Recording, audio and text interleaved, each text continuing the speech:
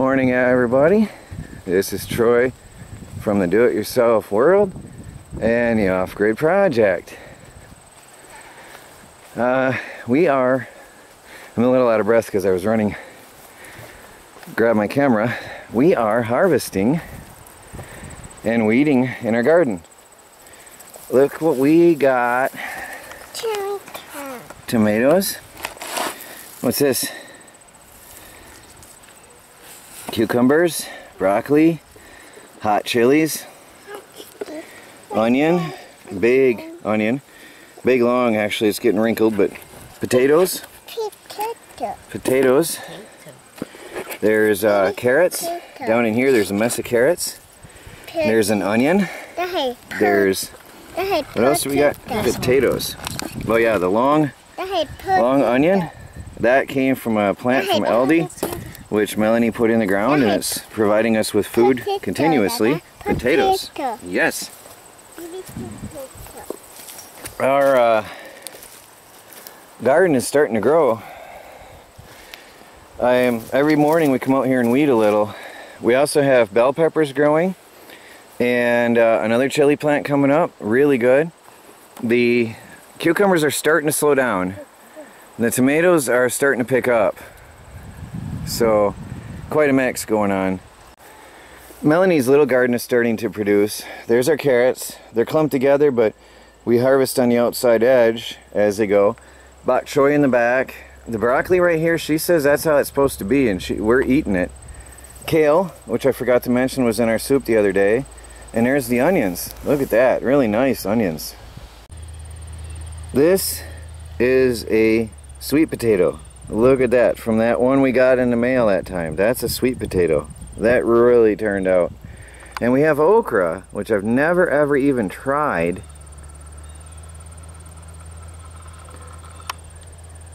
Is actually growing. Whoops, we really have okra growing. I never, never even tried it. And she's got it succeeding. There's another sweet potato. There's um, Brussels sprouts and she's got which one is the big one here? She's got oh I'll show you the lemongrass. There's some hidden over there there's another one. That's lemongrass from one that she's had for years. She just pulled a little bit out and put it in here and it's bigger than the original. So we're learning what grows best where this year.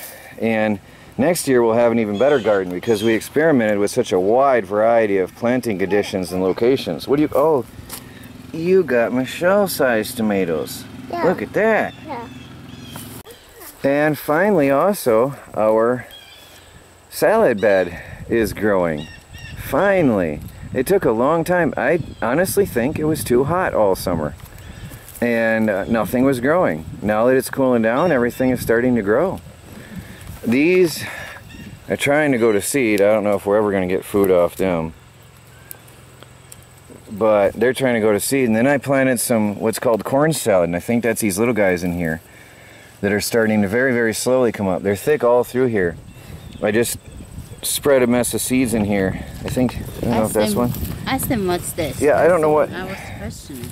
These came up in the uh, straw. And I don't know what it is. I pulled out a root and there's nothing useful to it. It doesn't smell like anything edible. It looks like a radish family of plant, but there's no... Actually, no, that one smells like a radish. I wonder if that's some kind of a deer feed radish. That one smells like a radish.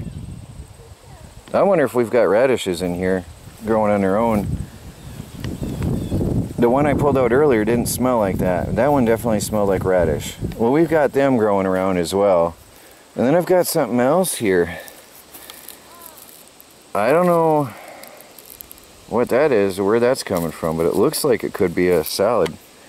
Everything that grows in this little bed I wait and see because we had such a variety in here. But we're eating from it. There is a whole mess of kale. Michelle has a nice little bundle of kale. And I harvested the oregano heavily and you'd never know it. Never can tell it, could tell it. And I harvested our peppermint, oh, massive bundles. That's more oregano, a different type. Yeah, huh? Look at that, Michelle. That's our food. So we're looking better this year than ever before. I'm loving it here. And everything's flowering happily. It's coming near the end. Oh, there's another bundle. I think it's gonna Yeah. be more flower when we harvest, right? Yeah, they say when you harvest it, they I spread. leaves. Oh, the kale, yeah, it'll grow more. They're they've been flowering for a while now, and then this is another type of uh, thyme. More.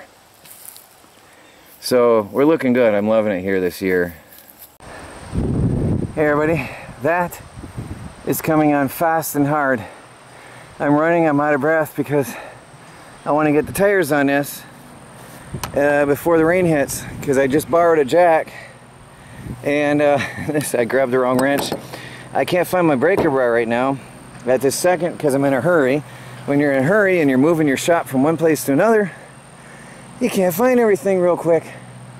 So I'm going to try to get these tires on and hand tighten them and then uh, later I can torque them down when I find a breaker bar, rain or not. But I've only got a limited time to use this jack, so I've got to get them on there now.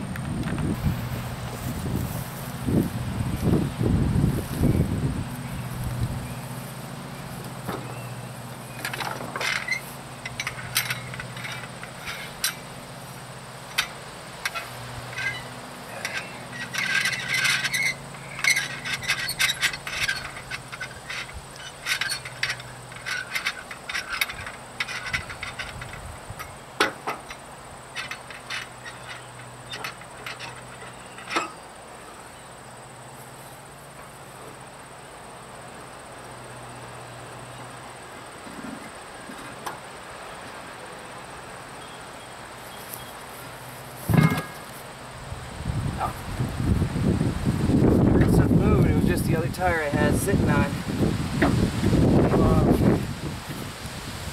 These are heavy and awkward. Uh.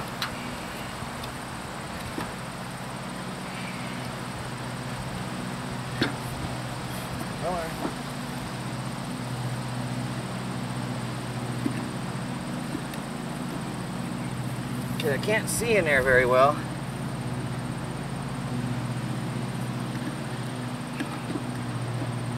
Come on. Oh yeah.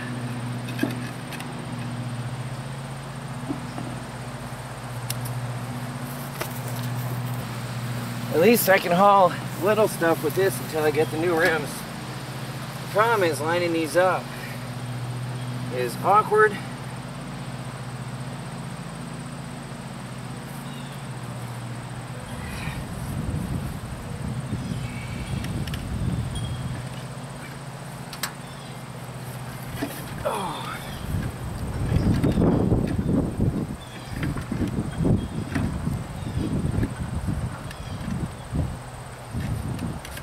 heavy.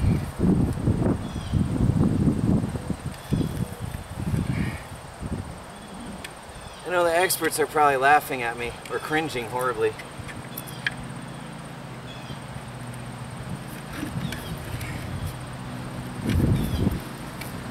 I've never dealt with a dual wheel system. Ah, come on.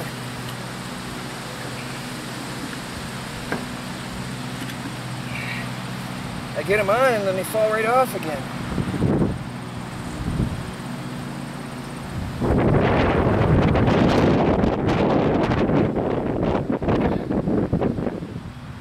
That is coming fast.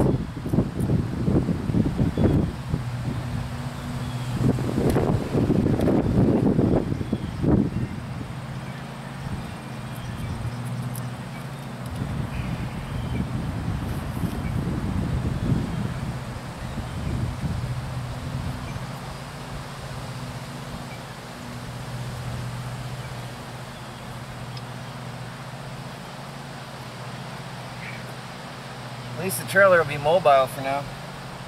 Move it around so I can work on it wherever I need it.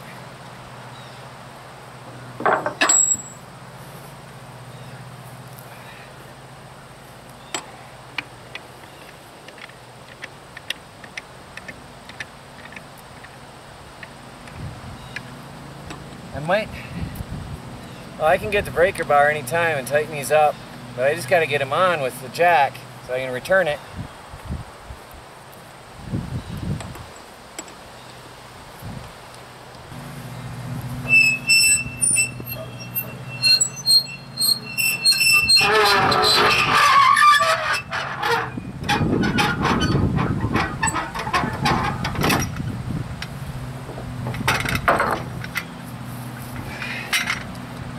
Found the right tool for the job.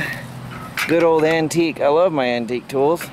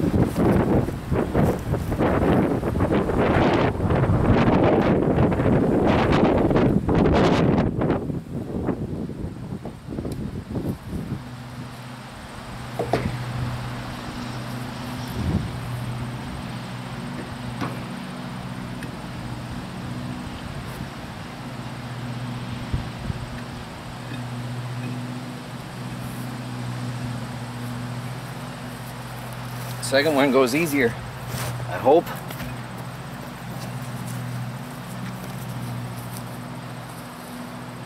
At least this way I can move it around the property.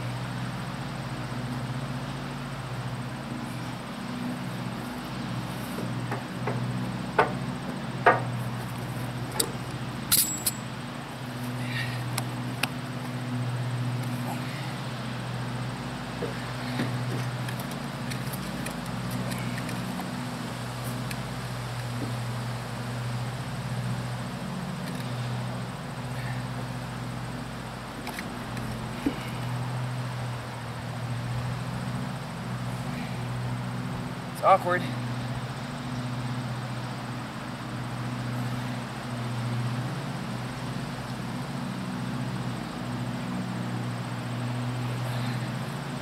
I got it on there at least.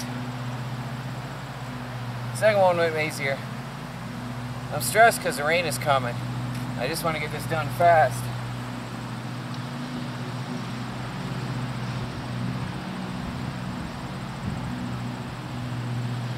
All right. Well, actually, you can see what uh, how my little fancy tool works here in a minute.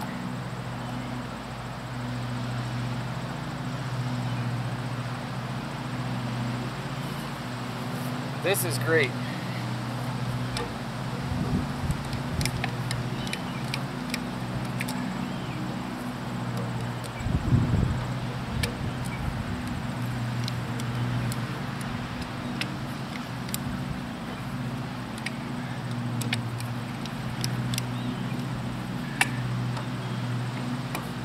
It's quicker than a breaker bar to get them going.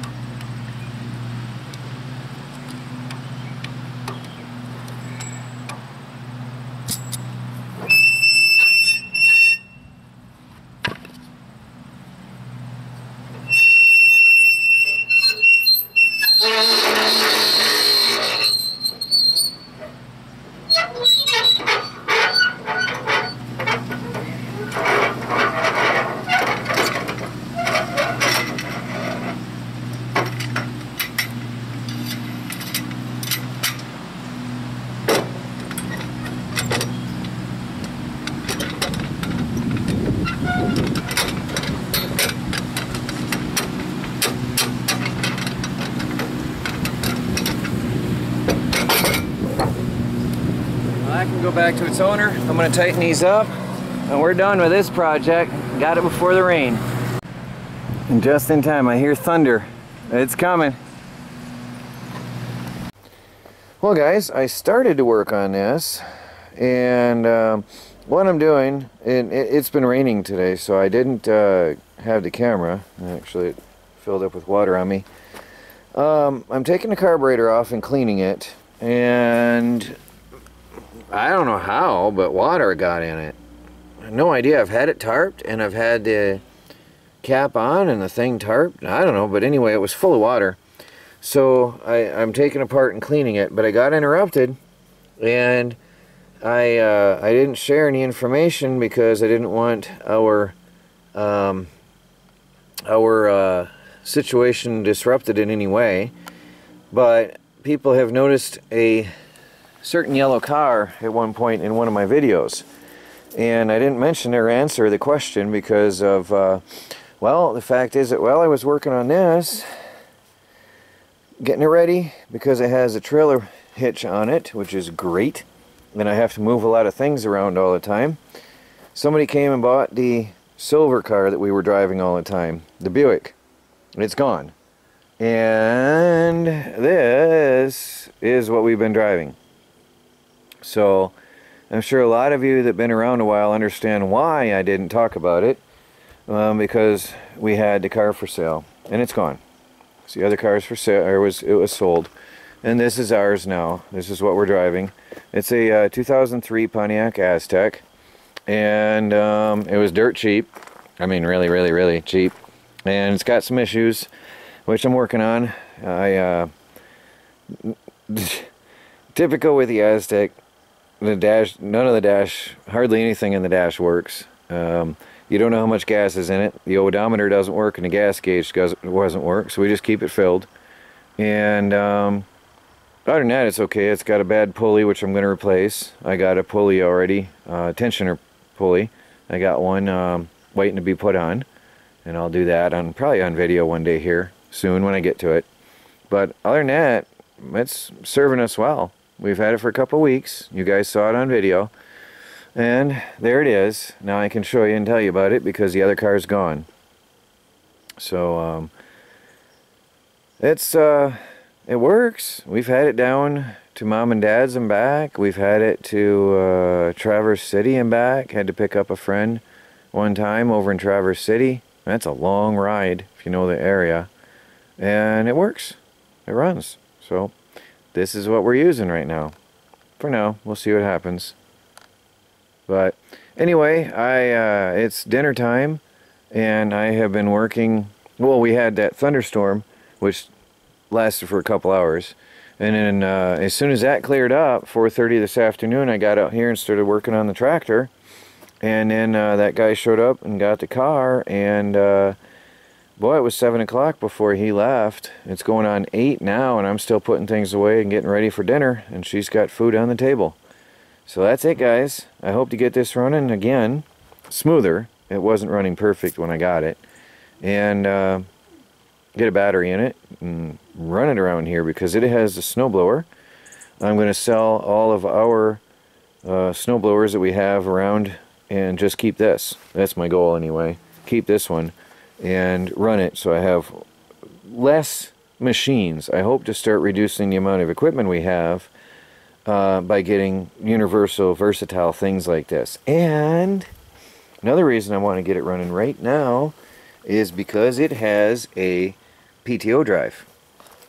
Is that a dual? That's a single belt drive. It's a single, but it's got a clutch. And uh, I want to see if this will run the buzzsaw.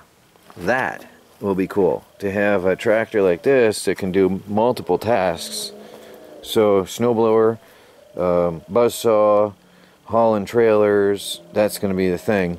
But I got to get inside and get dinner, so that's it for today. Um, a lot of running around. This is Troy from the Do-It-Yourself World and the Off-Grid Project. Please like, subscribe, and share, and follow our videos as we strive to become fully self-sufficient and off the grid on a budget. Working on our own machines saves a lot of money and a little step towards self-sufficiency. Talk to you all later.